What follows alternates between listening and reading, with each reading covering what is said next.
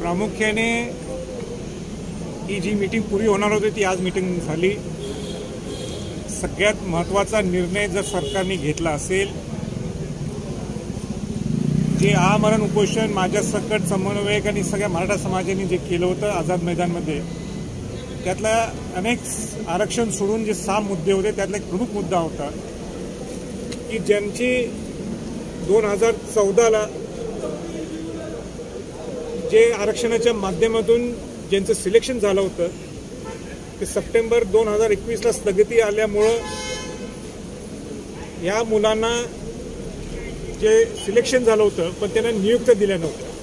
वेगळ्या वेगळ्या कारण असतो.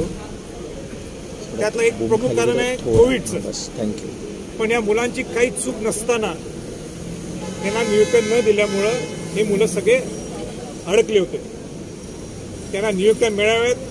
म्हणून तो आमचा आग्रह होता.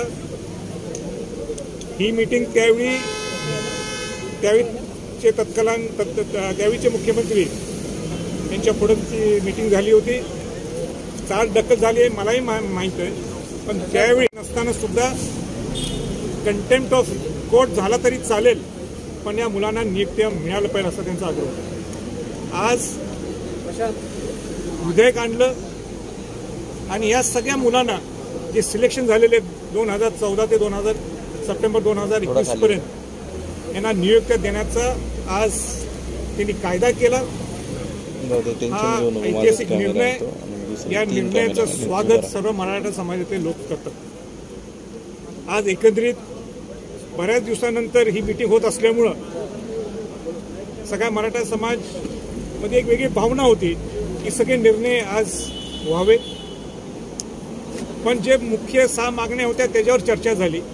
सारथी असेल अण्णासाहेब पाटील महामंडळ असेल कोपार्डीचा विषय असेल आणि बऱ्यापैकी त्यांनी समाधानकारक सगळी उत्तरं दिलेली आहेत. वेगळ्या वेगळ्या समिती स्थापन करण्यासाठी सुद्धा त्यांनी निर्णय घेतलेला सारथीसाठी स्वायत्ता असेल किंबहुना वसतिगृहाचे अनेक विषय असतील. हे पहिल्या मीटिंगमध्ये त्यांनी बरीच लाईन क्लिअर केलेली.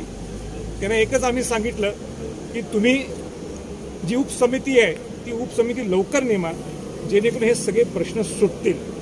आणि म्हणून मला विश्वास आहे की ह्यांनी लवकरच्या लवकर मुख्यमंत्री उपमुख उपमुख्यमंत्र्यांनी हे सगळे विषय सोडवावेत जे मार्गी लावावेत आणि लवकरच्या लवकर या गरीब मराठ्यांना वंचित मराठा समाजाला न्याय द्या